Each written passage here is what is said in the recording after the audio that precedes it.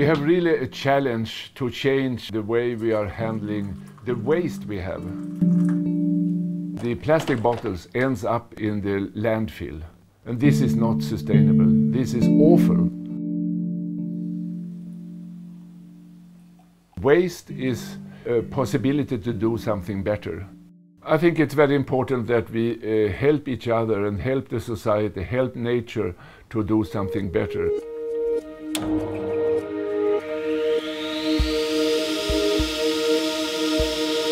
The growth of the population globally is a really big problem. We need to rethink the way we are building homes and structures and everything. I think we shall look upon the local material and the local material is waste and waste of glass can be used.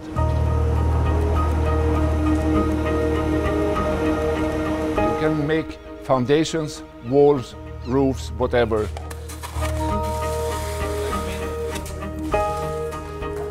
You can reuse it and you can recycle it.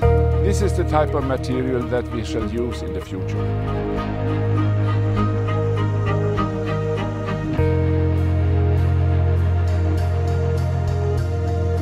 We are staying indoor nowadays much more than earlier. We need to build healthy buildings with healthy materials and a good indoor climate.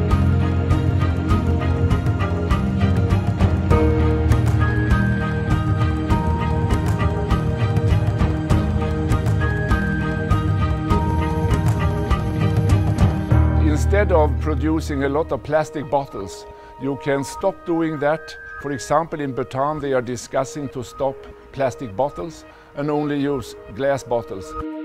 To convince people is to do something. If we want to change, we must inspire people and show them this is possible. We must do it together.